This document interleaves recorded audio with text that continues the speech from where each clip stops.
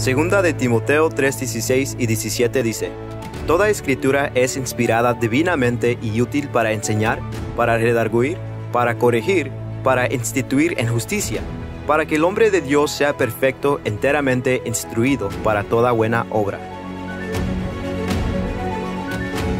Bienvenidos. A continuación, por los próximos 30 minutos, acompáñanos a escuchar este su programa Declaración al Día, con el pastor Arturo Ríos, con temas fundamentales y edificantes que lo profundizarán al conocimiento de la palabra de Dios. Al concluir, daremos nuestra información en cómo usted puede comunicarse con nosotros si así lo deseare. Ahora, les presentamos Declaración al Día.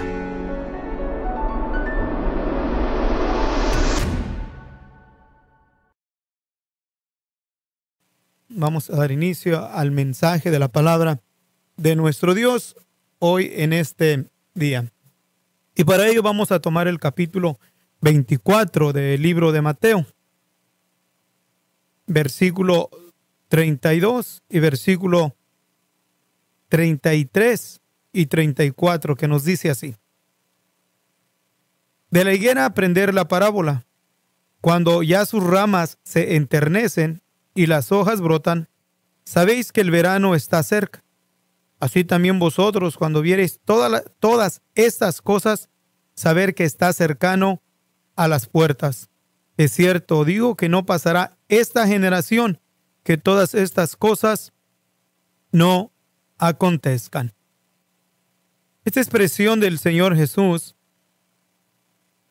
está expresada en lo que se conoce como el sermón profético o ya el tiempo de la venida de nuestro Señor Jesús. Y en el sermón profético el Señor profetiza de los muchos acontecimientos que tendrán de suceder antes de, de, su venida o antes del fin, del fin del tiempo. Menciona en el mismo capítulo 24 del versículo 26 en adelante habla de diferentes acontecimientos como eh, oiréis guerras y rumores de guerra. Ah, también nos menciona que se levantará nación contra nación y reino contra reino. También nos menciona que habrá pestilencias, hambres, terremotos ah, por todos los lugares. Y todo esto solamente menciona diciéndonos que es principio de dolor. Pero también sigue elaborando sobre otras cosas que son eh, importantes que las hemos considerado, donde menciona que serán afligidos y, os matarán y serán aborrecidos de las gentes por causa de mi nombre. Aquí es algo importante que debemos, que debo detenernos aquí para declarar esto, que nosotros vivimos en una nación que fue eh, fundada, formada por, ah, por gente temerosa de Dios. Entre ellos se distinguen los, los peregrinos o los pilgrims, de los cuales vinieron, eh, vinieron este, de, Europa, eh, moviéndose primeramente de un país a otro, hasta que decidieron moverse a, la, a, lo que es al nuevo mundo, al país de los Estados Unidos. Y, y lo que ellos buscaron era e, eso, precisamente la libertad de religión. Un lugar donde tuviesen plena libertad para buscar y adorar al Dios de la gloria, a como Dios les daba a cada uno de ellos. Porque en esos tiempos, en la Gran Bretaña, mm, estaba aún prohibido que si el único centro de adoración a Dios era a través de la institución más grande. Después miramos también que en Europa eh, era el mismo, el mismo problema que la población estaba controlada por una institución religiosa y el centro de adoración a Dios estaba uh, subyugado a sus estatutos, no los estatutos de Dios, sino a los decretos que establecía sus, las mismas uh, organización uh, políticas religiosas que, que eran prevalecientes y reinaban en su mayoría en aquellas partes del mundo. Entonces esta nación fue fundada por cristianos, por hombres de Dios. Entonces nos es muy fácil para este tiempo llegar a creer de que eh, es imposible de que pueda llegar a nosotros a cumplirse lo que menciona aquí la palabra de nuestro Dios, donde eh, declara de que serán afligidos y nos matarán y serán aborrecidos de todas las gentes por causa de mi nombre. Por cuestión, precisamente por eso, porque vivimos en un país autodenominado cristiano. Pero no podemos olvidar el hecho ni tampoco cerrar nuestros ojos al hecho de que el país está cambiando demasiado, de que aún se han, eh, por algunos representantes eh, del país de Estados Unidos, ah, ah, han declarado de que Estados Unidos ya no solamente es un país cristiano, que ahora es un país cristiano, musulmán, budista, y da la declaración, y aún también menciona diciendo que es un país también de ateos, porque es un país multicultural, donde también ya hay un sinnúmero de, digamos así, de religiones. Y esto ha ocasionado y está ocasionando una división que ya está palpante en, el en, en este país, el país de los Estados Unidos, en el país que menciona en su dinero en Dios confiamos. Entonces sería, parece algo eh, no aceptable de que tenga de venir a nosotros lo declarado que está en la palabra de nuestro Dios. O sea, en cuestión de, de os matarán. Y, el punto es que aquí que, eh, que la gente, ah, ah, cuando menciona, os, os entregarán para ser afligidos y os matarán y seréis aborrecidos de las gentes por causa de nombre. Podríamos eh, crear a pensar que solamente esto sucede en los países del tercer mundo, en los países donde no se encuentra la, libertad religiosa, como los países eh, musulmanes. Entre ellos está, eh, sin mencionar el, sinnúmero que hay, pero está entre ellos que se distingue es, es Irán o, Saudi Arabia, donde no hay esa libertad religiosa, sino, sino profesas el, el, el, islámico, el islámico o el maometano o musulmán, este, entonces no eres aceptado dentro de la comunidad. Y, y, eres perseguido, eres despreciado y aún no solamente te afligen, sino aún también estás, eh, corres el riesgo de perder tu vida. ¿Y qué podríamos decir de los países eh, que conocemos como ateístas, países comunistas, como lo es Norcorea?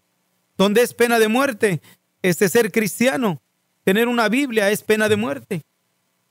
Y en otros países más. Entonces em, es muy común en nuestra mente de que, de que crea una ilusión de que este país, en ese país, nunca vendrá o nunca tendrá de sufrir ah, por causa del nombre del Señor Jesús. Porque si algo tenemos que entender es que si vamos a ser si Dios lo permitiese y tuviésemos de pasar el proceso de ser afligidos y aún de que nos maten y a ser aborrecidos de las gentes, muy importante que entendamos que es por causa de mi nombre, o sea, por causa del nombre de nuestro Señor Jesús, porque el nombre del Señor Jesús causa incomodidad a aquel que no quiere vivir conforme a lo establecido en la palabra de nuestro Dios, porque la palabra no es solamente tinta y papel, la palabra es, es, espíritu, la palabra de Dios es vida. La palabra de nuestro Dios es, es el maná que ha descendido del cielo. Es el mismo Señor Jesús, es nuestro Dios.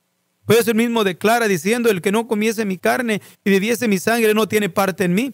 No está hablando de su carne literal, está hablando del pan, de la palabra de Dios, de su sangre, de la unción de su espíritu. Si no somos sellados con su espíritu y si no vivimos conforme a la palabra de nuestro Dios, entonces no tenemos parte con nuestro Dios. Pero los que quieren vivir conforme a la palabra y agradar a Dios y vivir una vida conforme a lo establecido en la palabra, la palabra, en la palabra de nuestro Dios, automáticamente eres, eres rechazado, no eres aceptado entre aquellos en los cuales no quieren ser rigidos por la palabra de Dios, porque la palabra de Dios implica eh, sujeción, y la naturaleza del ser humano es rebeldía, sujeción, obediencia. Y cuando tú te sujetas y obedeces a los mandamientos de nuestro Dios y caminas y te envuelves entre aquellos de los cuales no quieren obedecer ni si quieren sujetarse a la palabra del Altísimo, el hecho de que tú obedezcas a Dios ocasiona una incomodidad en los que te rodean. Entonces estamos viviendo y estamos viviendo ya en un tiempo de una sociedad que en su mayoría no tienen interés de vivir conforme a lo establecido en la palabra de nuestro Dios. No tienen cero de interés vivir o sujetarse a los estatutos de la palabra del Altísimo. Y cuando tú te sujetas a la palabra de nuestro Dios, eres afligido ya sea por críticas o eres despreciado o al grado aún de que puedes llegar a ser afligido. Y si Dios lo permitiese, aún por esa incomodidad que ocasiona el vivir en Cristo Jesús, pueden llegar a matarte como lo han hecho en otros en otros países, como ya eh, se ha oído en algunos países allá del centro de la nación, algunos estados, disculpen, del centro de la nación de Estados Unidos, donde ya ha habido ah, reacciones de personas en contra negativas y aún de amenazas contra aquellos en los cuales han querido vivir agradando y honrando a Dios conforme a su palabra. Entonces, tenemos que aceptar de que viene a este país, viene, viene aflicción, viene persecución. Yo que es difícil aceptarlo porque es un país autonomado cristiano. Pero sin embargo, solamente que estuviésemos completamente ciegos o dementes, eh, no podríamos mirar las innumerables leyes que están cambiando en este país que afectan la vida del cristiano, que afectan por medio de los legisladores, de los ah, gobernantes de esta nación. Si miramos lo que está, lo que está a nuestro alrededor, miremos lo que continuamente se está decretando por el Senado, por el gobierno. Leyes en las cuales quebrantan y van en contra de lo establecido por la palabra del Altísimo. Y si tú vives en contra de lo que el gobierno establece, entonces te haces enemigo del Estado. No obedeces las reglas del Estado, no obedeces las leyes del Estado. Y si no obedeces las leyes del Estado, ciertamente hay repercusiones.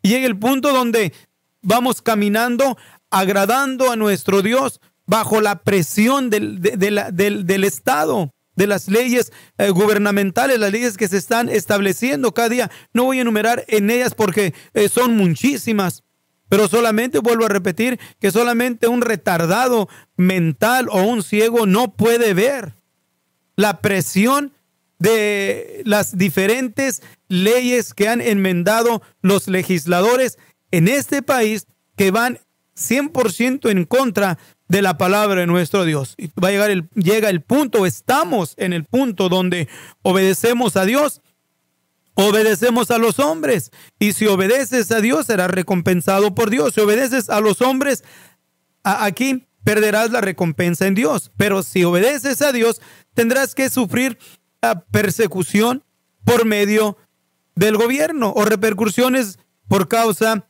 de que estamos viviendo en contra de las leyes establecidas por este gobierno. Así que pongamos atención y fijémonos cada día cómo, va, cómo vamos caminando como nación y las leyes que cada día se han estado implementando que están en contra de la palabra de Dios. Y esto ciertamente acarrea, acarrea aborrecimiento al verdadero pueblo de Dios.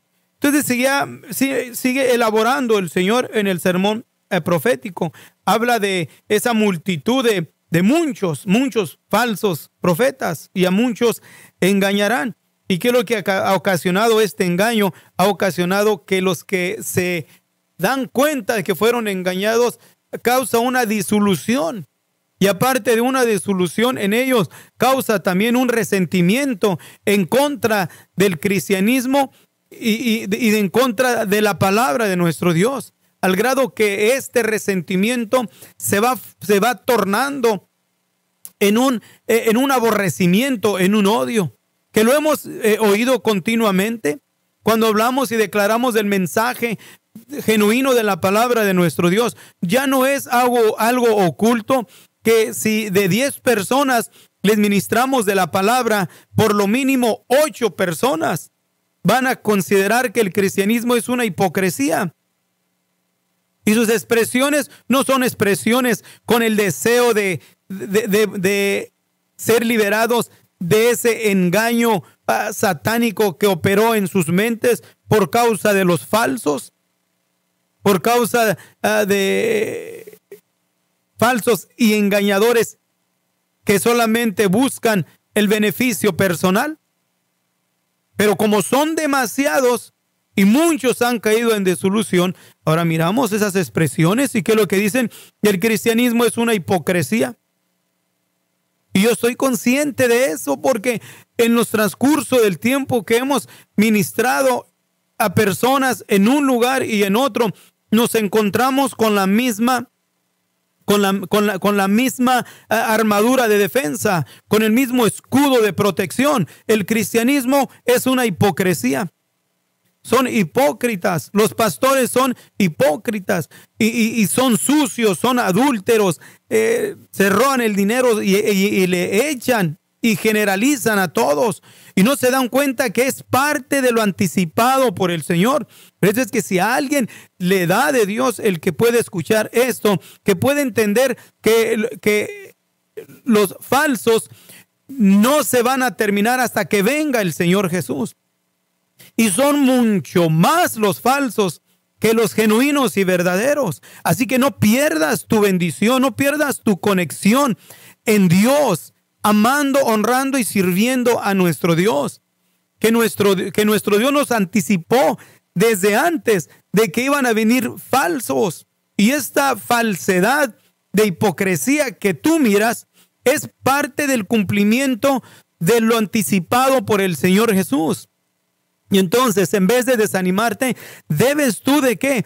De fortalecer tu fe y decir, la palabra de Dios es viva y eficaz, es verdadera, porque se está cumpliendo. Y la falsedad que miramos es prueba de la veracidad del bendito libro de la palabra de nuestro Dios. Así que no te debe de, de asustar y no te debes de extrañar el que mires tú una multitud de enseñadores eh, falsos o hipócritas como malmente ah, se conoce, se conoce, pero no todo el cristianismo es así, porque es un cristianismo genuino real y verdadero, llamado por nuestro Dios, lavado con su sangre preciosa en la cruz del Calvario, que han aprendido a vivir agradando y honrando y a, nuestro Dios, esforzándose para vivir conforme a lo establecido en la palabra de nuestro Dios.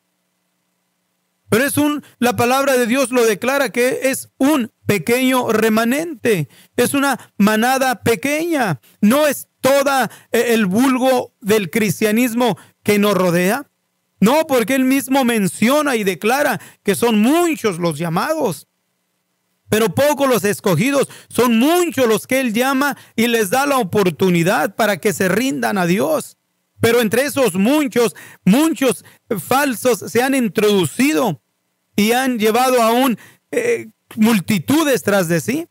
Y todo eso lo describe el apóstol Pedro. En el capítulo 2 habla muy claro que así como hubo también en el pueblo, en el pueblo de Israel, porque no solamente esta operación ha operado en la iglesia, sino que también en el pueblo de Israel, en el tiempo del Señor Jesús, también había mucha falsedad. El mismo Señor reprende a los fariseos, a los saduceos, a los escribas, a los enseñadores a los representantes religiosos de aquel entonces diciéndoles, también vosotros escribas y fariseos hipócritas. No es algo nuevo, porque siempre va a haber, eh, va a haber aquellos de los cuales se introducen entre el pueblo de Dios. Pedro en su segunda carta, en el capítulo 2, aún menciona diciéndonos, pero hubo también falsos profetas en el pueblo, como habrá entre vosotros falsos doctores que introducirán encubiertamente herejías de perdición y negarán al Señor que los rescató, atrayendo sobre sí mismos perdición acelerada. Y estos falsos no tienen, no tienen conciencia, porque no hay redargumento de conciencia en ellos. No les importa este no les importa engañar, no les, no les importa llevar al pueblo a, a, juicio y a condición y a condenación. Porque en el versículo 2 aún menciona, y muchos seguirán sus disilusiones. Y, hay una declaración del apóstol Pedro, de lo cual nos estamos refiriendo ahorita, por los cuales el camino, vuelvo a repetir, por lo cual el camino de la verdad será blasfemado. Y no oímos nosotros continuamente que el camino de Dios, el camino dice la escritura, que el Señor es el camino, Él es la verdad, Él es la vida. Nadie puede llegar al Padre sino a través de nuestro Señor Jesús. Él es el camino. Y el camino es Él en su bendita palabra de Dios, manifestándose, declarándose y hablándonos a través de su bendita palabra. Y no es la palabra de Dios continuamente blasfemada. ¿Por causa de qué? De los muchos que se tuvieron una disolución, de los muchos engañados. ¿Por qué? Porque sigue declarando y diciendo que por avaricia harán mercadería de vosotros con palabras fingidas, sobre los cuales la condenación ya de largo tiempo no se tarda y su perdición no se duerme. alguien me mencionó y me dijo, ¿cómo es posible que alguien pueda llevar a juicio a condenación a multitudes y no sentir nada? ¿Por qué? Porque ciertamente este grupo de personas no están actuando de sí mismos porque no tienen capacidad de sí mismos poder llevar a cabo tal, tal atrocidad, sino que el apóstol Pablo cuando escribe a Timoteo en el capítulo 4 menciona de aquellos de los cuales se apartaron de la verdad, diciendo en el versículo 1 y versículo 2, pero el Espíritu dice manifiestamente que en los venideros tiempos el Señor habló de esos tiempos venideros el tiempo que venía, en el tiempo que, estaba por venir, se iban a levantar muchos falsos, muchos falsos profetas. Tiempos algunos apostatarán de la fe, escuchando espíritus de error y doctrinas de demonio. En el versículo 2 da una declaración que con hipocresía hablarán mentira, teniendo cauterizada la conciencia. Por eso es que no les importa a los falsos, a los líderes, a los pastores o ministros o hermanos, eh, entre comillas, que es que llamados cristianos, no les importa destruir matrimonios a los pastores cometiendo adulterio, no les importa quitarles el dinero o las ofrendas a, los miembros de sus, de sus congregaciones. No les importa si aquella mujer anciana o viuda, porque a mí me consta que me han declarado de pastores en los cuales van aún y les reclaman a sus ofrendas especiales a las mujeres ancianas y viudas. Y no es una imaginación lo que aquí estoy declarando porque se me ha declarado y, se me, y Dios es mi testigo que me han declarado y me han dicho de tales acontecimientos, de tales sucesos. ¿Y por qué lo hacen? Precisamente ¿por qué? Porque está cauterizada la conciencia. Está cauterizada la conciencia, quiere decir que no siente nada, no les importa, no tienen compasión ni misericordia. Pero digo esto por cuestión de que, de que el Señor lo anticipó y no debemos de nosotros admirarnos de ello, ya es parte de lo anticipado por el Señor, sino debemos de honrar y glorificar al Eterno, darle honra y gloria a nuestro Dios. ¿Por qué? Porque nos advirtió, nos declaró, nos dijo que esto iba a pasar y ahora que lo miramos a un, a un nivel que es admirable, digo cuestión admirable por cuestión de que es una, son multitudes, son muchos, muchos demasiado para contarlos. Son muchos los llamados y pocos los escogidos, porque esos pocos son los que han, se han determinado caminar y seguir al Cordero por donde quiera que Él fuese. Y los muchos son de aquellos de los que aún han lamentablemente se han disolucionado o han sido engañados y ahora se convierten en enemigos de la cruz de Cristo. Así que levantemos cada uno de nosotros nuestros ojos y miremos atentamente a lo anticipado por el Señor Jesús y caminamos, caminemos aquí en este mundo con temor y temblor, sabiendo que nuestra redención ya está cerca.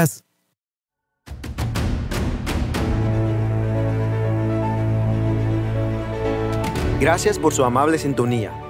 Puede comunicarse con nosotros a los números telefónicos 831 386-9112 o al 831-297-0879. De igual manera, puede visitarnos en nuestro sitio web www.radioresplandecer.com. Le invitamos a que descargue nuestra aplicación radial en los medios de Android y iPhone bajo el nombre Resplandecer. De antemano, gracias por escuchar este su programa Declaración al Día con el pastor Arturo Ríos.